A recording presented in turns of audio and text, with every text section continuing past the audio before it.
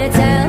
Maybe a hundred bad days made a hundred good stories. A hundred good stories make me interesting at parties.